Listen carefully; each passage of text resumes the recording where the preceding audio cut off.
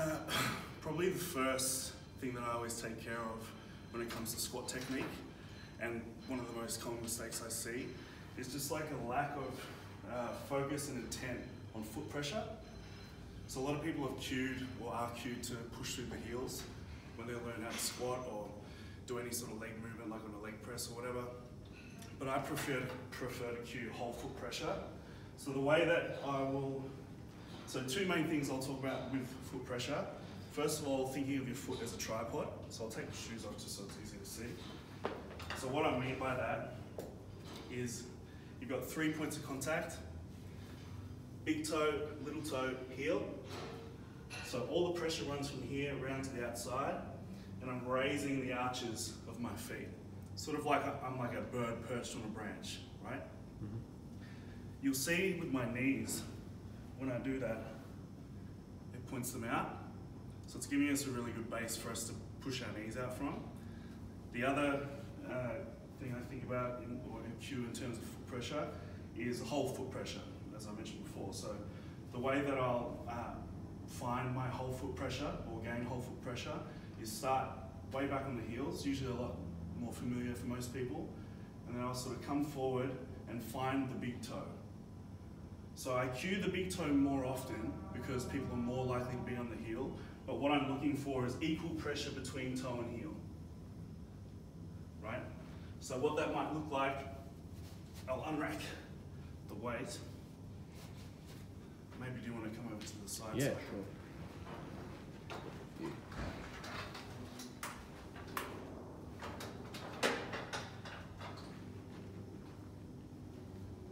So if I'm trying to find that foot pressure, that whole foot pressure, I'll start on the heels here.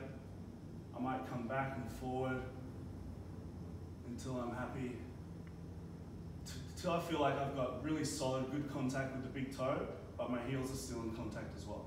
So it's usually just a little bit more forward than most people are used to, hmm. right? The second most common uh, mistake I'll see is a lame unrack. So most people sort of think that the lift starts once it's unracked and they're ready to go. The lift should start as soon as you touch the bar. That's when the intent should start. So when we're squatting, just briefly, we're arching the feet, knees are pointing out, really opening up the hips, pushing the knees out, right? We still want to have that lateral tension when we're unracking the bar as well, so it's probably easier to see from this side now. Yeah.